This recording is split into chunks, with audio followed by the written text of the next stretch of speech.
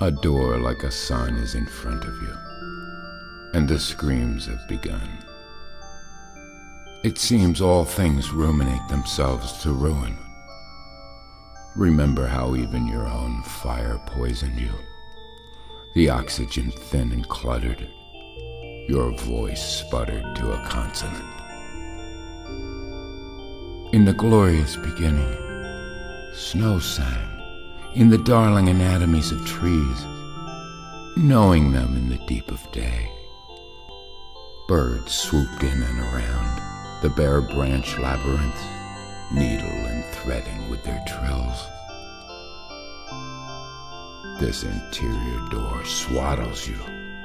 What you always wanted, they accused.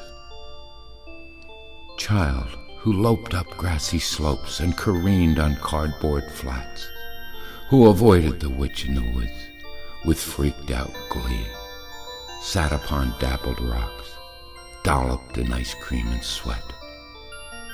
You did everything right. The glass paneled door protects the sacrosanct. Again, this night, unfurl the dark sheet blind the eyes of the door.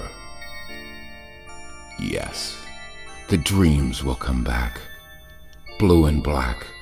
Others will take time. The door to dreams of being wall, yet it holds.